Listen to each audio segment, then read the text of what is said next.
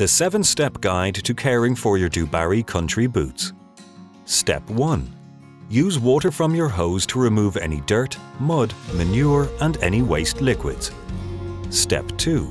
Spray Dubarry footwear cleaner all over and scrub with a brush to get a generous lather. Don't be afraid to scrub vigorously to remove any ingrained dirt or residues. Step 3. Rinse off any excess cleaner and lather with clean cold water. Step 4. Leave your boots to dry naturally for 24 hours. Never use artificial heat or leave near an open fire or radiator. Step 5. Spray Dubarry footwear protector all over, particularly to any suede or nubuck leather applying several layers and allowing absorption of each layer before applying the next.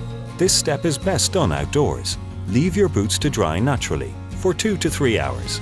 Step 7.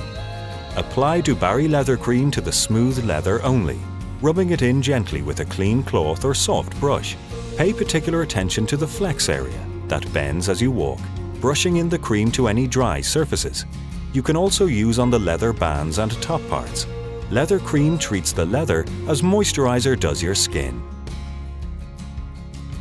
Special footwear deserves special treatment. Keep your Dubarry boots in tip-top condition with our dedicated range of maintenance products.